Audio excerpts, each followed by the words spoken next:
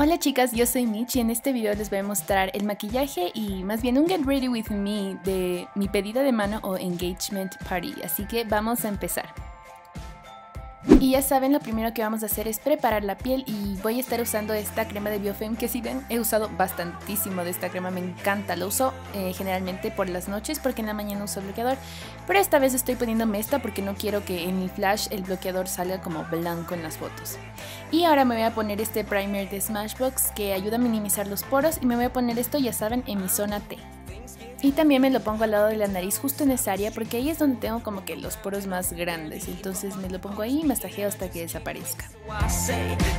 Y también un poco en la frente para disimular igual cualquier granito que haya por ahí, cualquier huequito o cualquier parte. Y ahora voy a estar utilizando esta base que no he usado desde algún tiempo que me encanta. Esta es de Essence y es súper súper duradera. Me gusta mucho que tiene también súper buena cobertura. Eh, me puse yo creo que unas dos capas de esto, sobre todo en las mejillas. En el resto una sola capa porque las mejillas es como que estaba con granitos y quise cubrir todo eso.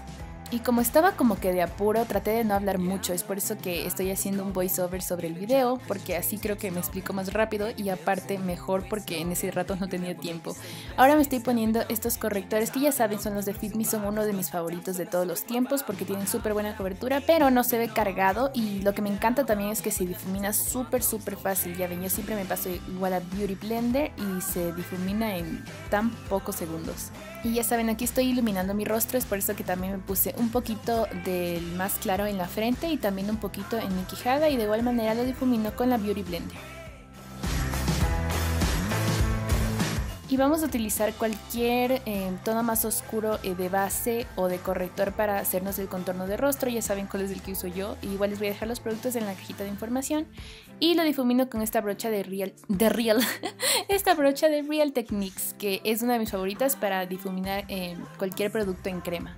Y sobre todo me quise poner también debajo de la papada para disimular eso porque en las fotos, porque yo sé que esa noche me iban a tomar bastantes fotos, iba a notar. Así que me puse eso para disimular. Y me sellé todo con este polvo de Catrice que ya les dije que se ha convertido en uno de mis favoritos porque no saca flash. O sea, tú te tomas fotos con flash y no se ve ningún como resto blanco. Y aparte me gusta porque es súper ligerito, no es pesado, es súper delgadito el polvo y no te deja blanca la cara, solo tienes que pasar bien la brocha, difuminar y te queda súper bien del mismo color de la base.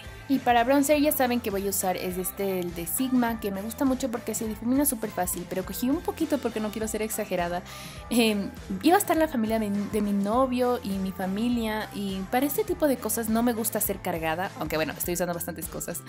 Y ahorita me voy a poner este blush que es de Sephora, que me gusta muchísimo el tono, es un tono duraznito, y me gusta que dura bastante este blush, este es como que no se sale nunca.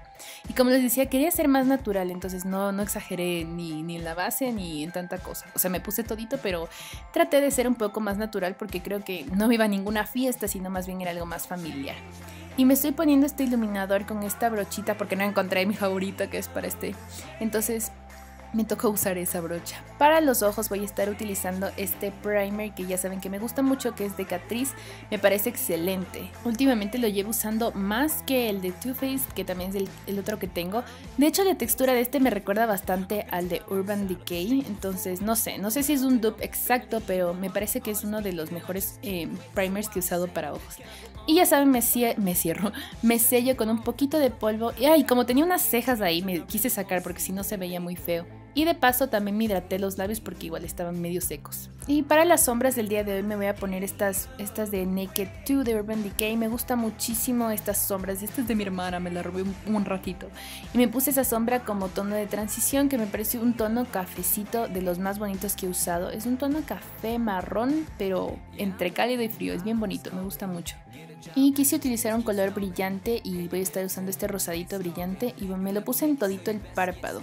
Me gusta muchísimo este tono porque igualmente es como que no es ni cálido ni frío, pero queda bien bonito.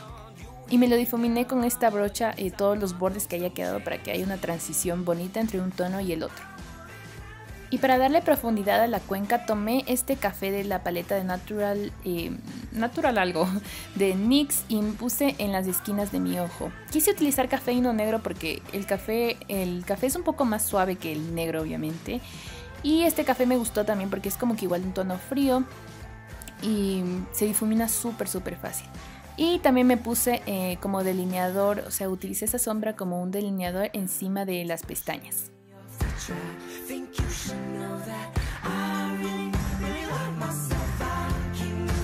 Y tomando el iluminador que utilicé en la cara, eh, lo tomé con el dedo y me lo puse en el lagrimal, en ambos lagrimales de mis ojos para dar luminosidad a la mirada. Y tomando este color doradito, lo tomé con una brocha grande para ponerme en el hueso de mi ceja. También es, queda súper bonito si te pones en el lagrimal y en el hueso de tu ceja un color brillantito o claro. Y para mis cejas ya saben cómo, cuál es mi rutina. Utilizo este lápiz que es de Catrice, el Brow Stylist. Y lo uso en el tono Ashy, es un tono como café grisáceo. Y de una vez me estoy rizando las pestañas. Sé que nunca lo hago, pero esta vez quise solo ponerme rímel y no ninguna pestaña postiza. Entonces me ricé para darles un efecto aún más como que, entre comillas, dramático. Y aquí me puse máscara de pestañas y estoy utilizando dos. Mezclé el Lash Princess de Essence y mezclé el, el Voluminous de L'Oreal. Me gusta muchísimo el efecto que ambos le dan a las pestañas. Y saben algo, me gustan muchísimo las máscaras de pestañas de Essence para las pestañas inferiores, les deja hermosas. Y estuve utilizando este labial mate para... Eh, este labial es de Lay Girl para los labios y me gusta porque es un tono rosita Ah, y también al final me puse eh, la misma sombra de transición, me puse un poquito en la línea de las pestañas inferiores. Y bueno chicas, como ven ahí está listo el maquillaje, no quise ser ni exagerado ni tampoco ponerme muy poco, así que bueno, así quedó. Y para el cabello lo que quise hacerme son mis ondas suaves clásicas, que ya tengo un video de, cómo me hago exactamente.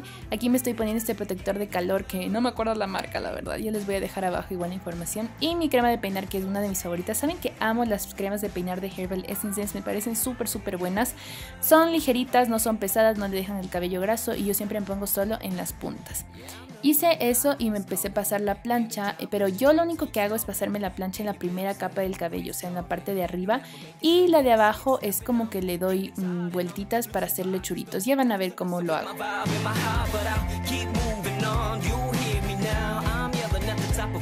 Una vez que ya alicé mi cabello solo la primera capa de arriba, eh, como ven dividí mi cabello en dos secciones, en mitad y mitad y empecé a girar y a pasar la plancha encima. De esta manera hago unas ondas bonitas en mi mismo cabello porque mi cabello ya es medio ondulado. Pero me paso la plancha así y me gusta muchísimo el efecto que le da. Me hago esto en ambos lados y luego dejo que el cabello se enfríe solo. No voy a zafar esos churitos que me hice hasta que el cabello se haya enfriado. O sea, unos 5 a 10 minutos dejarle así con esos como retorcidos de candy y luego lo zafo con los dedos de esta manera cuando ya el cabello se ha enfriado y quedan estas ondas súper bonitas en las puntas. Y aquí estoy puesta también el vestido. Mi vestido es de estudio F. Ah, no, es de Naf Naf. Es de la tienda Naf Naf y súper sencillito, blanco y celeste. Y eso es básicamente todo, chicas. Espero que les haya gustado el video de mi Get Ready With Me. Aquí está un plano más de mi vestido. Usé unos zapatos de Aldo que son mis sandalias que también vieron en mis fotos de compromiso. Me encantan esas sandalias. Y yo hice la mesa junto con mi hermana y mi mami. Me ayudaron muchísimo. Muchas gracias a las dos. Y estos cupcakes que quedaron tan bonitos los mandé a hacer. Las flores las hice yo misma. Pueden creer. Yo que soy inútil para esto, pero hice yo las flores y me encantó cómo quedaron. Gracias a Pinterest. Les juro que Pinterest es todo. Y a mi prometido también. Él también me ayudó a hacer las flores, de hecho. Y como les dije, los bocaditos lo hicimos las tres en casa. Hicimos huevos endiablados, higos con queso, hicimos eh, zanahorias y apios, bolitas de carne y otras cosas que mi hermana me ayudó a hacer que no sé ni cómo se llaman. Y bueno chicas, nos vemos en un próximo video. Chao, chao.